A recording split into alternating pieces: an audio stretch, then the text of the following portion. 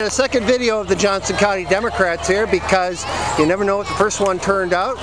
We're right at the uh, corner by the Performing Arts Center. There's Bob Dvorsky, Janet Lyness, and Melva Hughes and Mike Carberry up on the banner. Just in case the first one didn't turn out. Hey, sorry I'm in your way. Here's uh, Matt and Carla driving the wagon. Got a new Democrat flag for us up here and all of our candidates and elected officials. jcdems.org. Got to get the URL out there.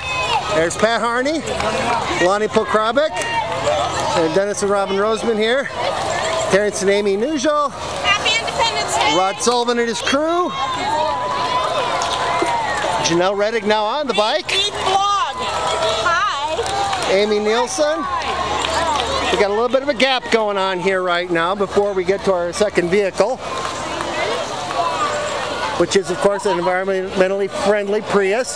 There's Robin Butler biking for Janelle. Hi Jareen. Another little gap before we get to Team Bernie Sanders here. Tom Karsner leading the chance.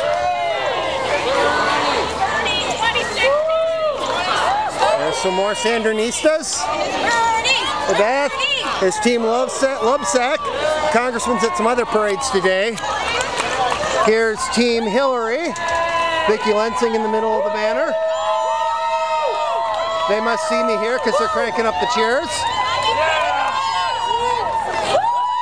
More of Team Hillary. Hi, Sue. Let's go vertical here for the vertical signs. Last but not least again, the UDEMs. And that's the 4th of July 2015.